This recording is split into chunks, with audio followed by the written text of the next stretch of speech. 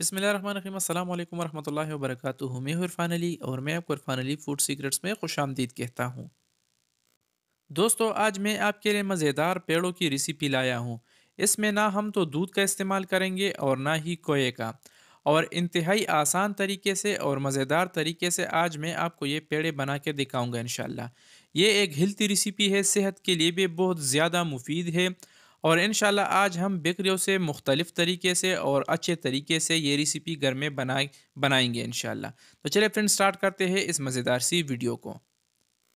मज़ेदार और हेल्थी पेड़ों को बनाने के लिए यहाँ पर हमने फ़ैन को चूल्हे पे रख दिया है और इसमें हमने आधा कप तिल को शामिल किया है और आधा कप सूजी हमने इस फ़ैन में शामिल किया है। सूजी को पहले हमने अच्छे तरीके से छान लिया था। तो इन दोनों चीज़ों को फ़ैन में शामिल करने के बाद अब हम इसको तकरीबन तीन से चार मिनट तक रोस्ट करेंगे, ताकि इसमें जो कच्चापन होता है वो ख़त्म हो जाए। इसको तीन से चार मिनट तक रोस्ट करने के बाद आप इसे देख सकते हो, इसका जो कलर है ये थोड़ा सा चेंज हो चुका है। तो इसको हमने ठंडा कर दिया है और ठंडा करने के बाद अब हम इसको अच्छे तरीके से ग्रैंड करेंगे। तिल और सूजी को हमने ग्रैंड किया है तो ग्राइंड करने के बाद यहाँ पर हमने दोबारा फ़ैन को चूल्हे पे रख दिया है और इसमें हमने दो चम्मच घी शामिल किया है। तो घी में अब हम सूजी और तिल को जिसको हमने ग्रैंड करके इस फ़ैन में शामिल किया है और अब हम इसको मज़ीद पकाएँगे मीडियम चूल्हे पे। इसको हम सिर्फ़ तकरीबन तीन से चार मिनट तक मीडियम चूल्हे पे पकाएँगे। और तीन से चार मिनट तक पकाने के बाद फिर इस रेसिपी का जो अगला प्रोसेस है तो फिर हम वो स्टार्ट करेंगे। अल्हम्दुलिल्लाह, इसको हमने तीन से चार मिनट तक पका लिया है। आप इसे देख सकते हो। इसका जो कलर है, ये थोड़ा सा चेंज हो चुका है। अच्छा तो अब इस दौरान हम इसमें शामिल करेंगे सादा पानी। यहाँ पर हम तकरीबन एक गिलास सादा पानी इसमें शामिल करेंगे। लेकिन एक ही बार में हम सारा पानी शामिल नहीं करेंगे, बल्कि थोड़ा थोड़ा करके हम इसमें पानी शामिल करेंगे और इसको अच्छे तरीके से मिक्स करेंगे। यही प्रोसेस आप दोस्तों ने सेम करना है। अच्छा तो इस दौरान आप दोस्तों ने एक ख़ास काम और भी करना है कि अपने भाई के इस चैनल को भी ज़रूर सब्सक्राइब करना है, क्योंकि इनसे हमें काफ़ी हौसला मिलता है और हमें मज़ीद काम करने का जज्बा पैदा होता है। तो इसलिए वीडियो को भी फुल वॉच करना है और चैनल को भी ज़रूर सब्सक्राइब करना है। अच्छा इसमें हमने जो पानी शामिल किया था, वो थोड़ा सा ड्राई हो चुकी है, आप इसे देख सकते हो।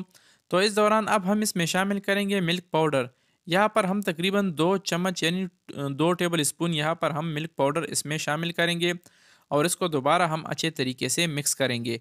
और मिक्स करने के बाद अब बारी आती है चीनी की। तो यहाँ पर हम चीनी का पाउडर इसमें शामिल करेंगे। तकरीबन तीन से चार चम्मच भर के हम इसमें चीनी का पाउडर शामिल करेंगे। चीनी आप अपने मर्ज़ी के हिसाब से भी इसमें कम या ज़्यादा ऐड कर सकते हो।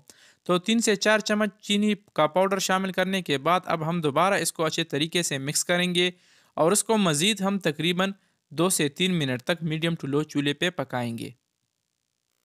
अल्हम्दुलिल्लाह, इसको अच्छे तरीके से मिक्स करने के बाद इसको हमने मज़ीद दो से तीन मिनट तक पका लिया है। तो अब ये तैयार है रेडी है तो इस दौरान अब हम चूल्हा बंद करेंगे और इसको नीचे उतारेंगे और इसका जो अगला प्रोसेस है तो हम वो स्टार्ट करते हैं। इसको चूल्हे से नीचे उतारने के बाद इसको हमने थोड़ा सा ठंडा किया है, लेकिन अब भी ये थोड़ा सा गर्म है। तो इस दौरान अब हम इसके बोल सा बनाएँगे, यानी इसका पेड़ा सा बनाएँगे। तो यही प्रोसेस आप दोस्तों ने सेम करना है। अल्हम्दुलिल्लाह, इसका हमने एक पेड़ा सा तैयार किया है, आप इसे देख सकते हो। तो यहाँ पर हमने लिया है कोकोनट पाउडर को। तो अब हम इस पेड़ को इस कोकोनट पाउडर में डुबो कर यानी इसके ऊपर और साइडों से हम इसको अच्छे तरीके से कोकोनट पाउडर से कवर करेंगे। इससे इसके जायके में मज़ीद इजाफा होता है।